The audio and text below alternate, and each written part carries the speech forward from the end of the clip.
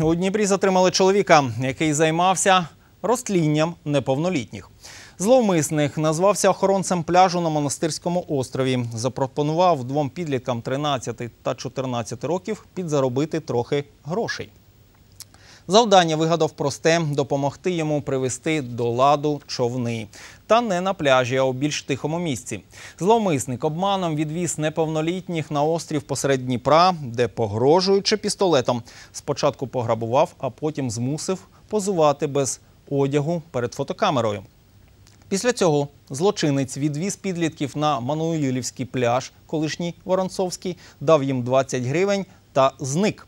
Поліцейські встановили особистість чоловіка. Ним виявився раніше судимий 57-річний мешканець Дніпра. Нині правоохоронці вирішують питання про обрання йому запобіжного заходу. По прибытию на остров Зеленый неизвестный завладел имуществом ребят, угрожая при этом э, предметом, похожим на пистолет. Также заставил раздеться последних э, и осуществил несколько снимков. Ну, это по словам потерпевших. Был установлен э, местный житель 60-го года рождения, неоднократно судимый за э, преступления в сфере незаконного оборота наркотиков, хранения оружия, растления э, малолетних. По данному факту открыто уголовное производство по признакам части 1 статьи 187 Уголовного кодекса Украины «Разбой».